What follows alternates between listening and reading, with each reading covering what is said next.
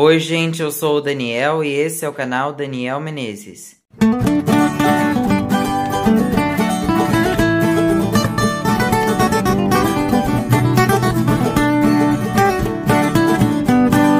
Se você está querendo ampliar a alimentação dos seus ratos Twister, oferecendo mais vitaminas, esse vídeo é para você. Hoje eu vou ensinar a fazer um mix caseiro para rato Twister, e se vocês quiserem saber com detalhes os benefícios de cada um desses ingredientes, eu fiz vídeos mostrando os benefícios de cada um desses ingredientes que vocês estão vendo aqui.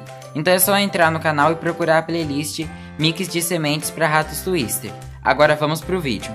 Já prepara aí o papel e a caneta porque eu vou falar a lista dos ingredientes que você vai precisar para fazer esse mix caseiro para rato twister. Nós vamos precisar de aveia em flocos grossos, painço amarelo, granola zero açúcar, milho branco de canjica, ração para roedores da marca Funny Bunny, lembrando que essa ração é só um complemento na alimentação vocês não podem oferecer como a base da alimentação porque ela não é usada para ratos twister. E o último ingrediente é a semente de girassol graúda. Para medir a quantidade de ingredientes que eu vou colocar, eu vou usar esse copo aqui que é para medir receitas e eu vou medir em xícaras.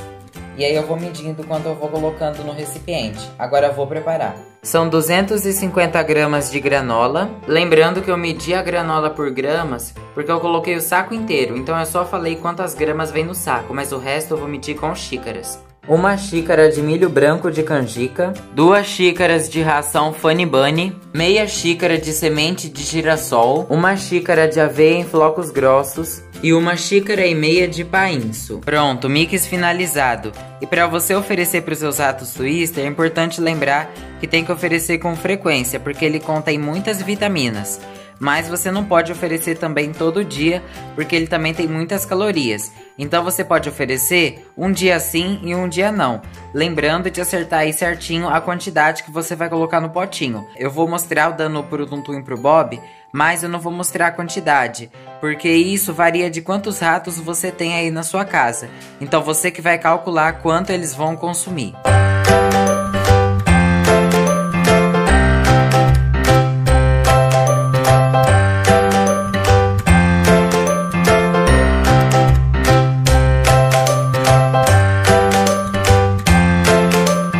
Espero que vocês tenham gostado. Tchau e até o próximo vídeo.